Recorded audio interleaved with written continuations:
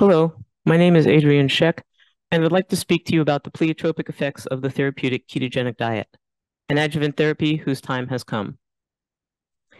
Aberrant metabolism is a hallmark of cancer. So that suggests there could be a therapeutic vulnerability, but it's got to be done in a way that protects normal cells. So for this, we are studying the therapeutic ketogenic diet. This is a high-fat, low-carbohydrate, adequate protein diet it should be done under the guidance of a trained dietitian or nutritionist. It reduces blood glucose, increases blood ketones, which includes beta hydroxybutyrate, acetoacetate, and acetone. It's an excellent energy source for normal cells, in particular cells in the brain. It's been used as a treatment for refractory pediatric epilepsy for many years, so it's got a known safety profile in both pediatric and adult people. Uh, it's also being looked at for other neurodegenerative diseases and cancers. It has been shown to inhibit the growth of brain tumors in vivo in preclinical studies, which are mouse models. Uh, there are also case studies in small clinical trials, and there's anecdotal studies as well.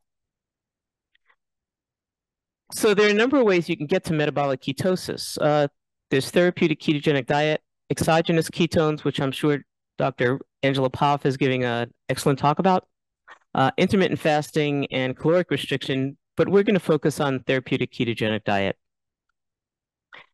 The first experiment we did was actually an in vitro experiment, and we used a very aggressive cell line. This cell line had, be had been derived from the fourth tumor that a young man had. This individual had been treated with many therapies. This was uh, quite a while ago, and I believe the 1980s. Um, we grew these cells in normal cell culture media, which was high glucose. So there was no glucose reduction. We gave 5 millimolar each of beta hydroxybutyrate and acetoacetate, acetoacetate, and we also used 10 microgram per mil of BCNU or carmustine. This is a therapy that this young man had been given. And the important line is this line in purple right here. If we did just BCNU, the cells lag for a while, then they start to grow. That's normal when you treat cells with uh, a chemotherapeutic agent such as BCNU. When we used the ketones, again, the cells lagged a little bit and then they started to grow, although it was at a slower rate than cells that were just mock treated. But when we put the two together, it wiped out the culture. And that told us that it was worth studying ketones uh, because they could be an, a good adjuvant for the standard of care. So what we've shown is that the ketogenic diet slows the growth of a murine glioma in vivo, and it enhances the activity of radiation and chemotherapy in vivo. So this is just a Kaplan-Meier plot of the ketogenic diet alone. Uh, we used a human formulation of the ketogenic diet, and you can see the faster this line drops, the faster the animals are succumbing to the tumor. So with standard diet is this black line, ketogenic diet is the red line. When we did this in the presence of temozolomide, which is the current chemotherapy used in patients, you can see that temozolomide with standard diet, you had a higher median survival than you did with diet alone. But again, the ketogenic diet potentiated the activity of temozolomide. But what was particularly exciting was that when done in the presence of radiation, not only did it potentiate the effects of radiation, but it essentially cured 9 of 11 mice of their tumors.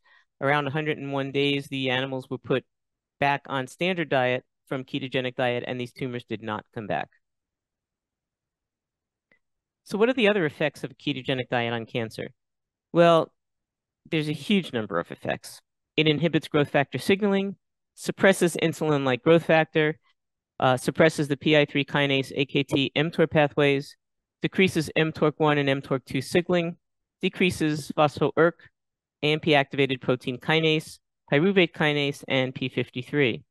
And this has been published uh, not only by our laboratory, but by a number of other laboratories.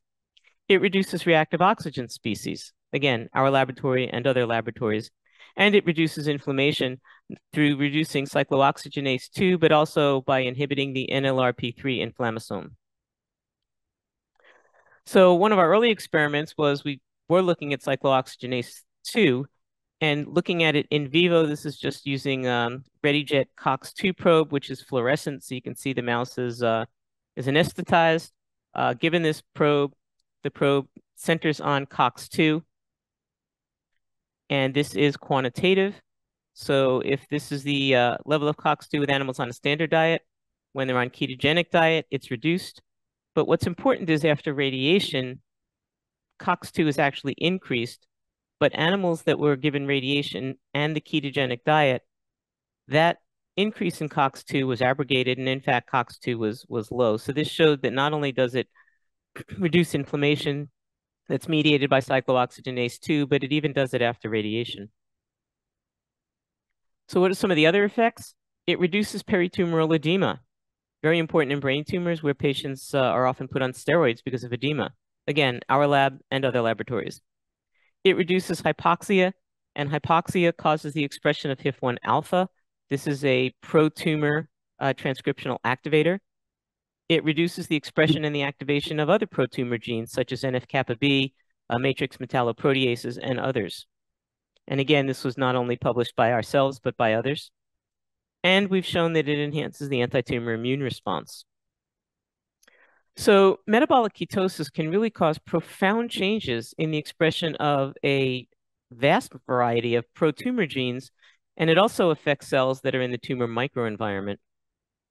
So these changes not only can affect the growth of the tumor itself, but they can enhance the activity of a variety of other therapeutic strategies. And uh, this shows, this is our, uh, our paper from 2015 that showed what I mentioned earlier, which was a ketogenic diet alters the hypoxic response, alters the expression of a number of proteins, including those that are associated with angiogenesis. And then in 2021, another group using the same mouse model that we had used added bevacizumab or Avastin, which is a therapy used in people with glioblastoma, and showed that the ketogenic diet actually enhanced the anti-tumor efficacy of Avastin in uh, this glioblastoma intracranial mouse model, suggesting that the use of ketogenic diet plus Avastin is going to make it the Avastin work better. Uh, another example, uh, we showed that uh, there was an enhance in anti-tumor immune response uh, in animals on a therapeutic ketogenic diet. And in 2021, um, another group showed that the ketogenic diet and ketone bodies not only enhance the anti-tumor immune response, but they enhance the effects of PD-1 blockade through um, other therapies that are currently in use in, in humans. The ketogenic diet is also being recognized for its ability to enhance the efficacy of other therapeutics. And this is not in brain tumors. This is uh, work done by Lou Cantley's group. And what they showed was that um, you get insulin feedback that happens when PI3 kinase inhibitors are used, and that actually reactivates the PI3 kinase mTOR signaling axis, which compromises the effectiveness of PI3 kinase inhibitors.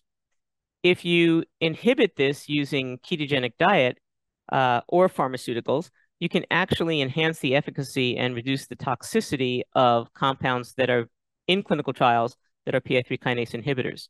So again, you can increase the efficacy of some of these therapies simply by using a ketogenic diet, and that does not increase the um, toxicity of these therapies as additional pharmaceuticals could possibly do.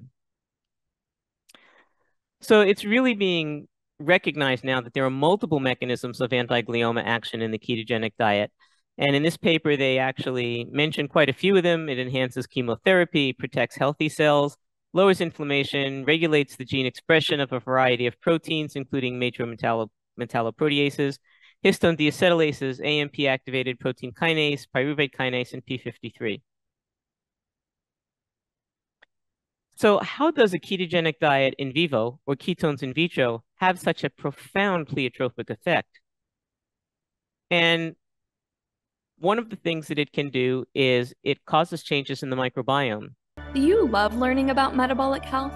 So do we. It's why we created the Metabolic Initiative, an online educational platform providing evidence based education on metabolic health and therapies for healthcare professionals and the general public. By joining the Metabolic Initiative, you'll gain access to hundreds of expert lectures, interviews, panel discussions, and even private episodes of the Metabolic Link. CMEs are available. Go to metabolicinitiative.com to get started. And as always, thank you for listening to the Metabolic Link.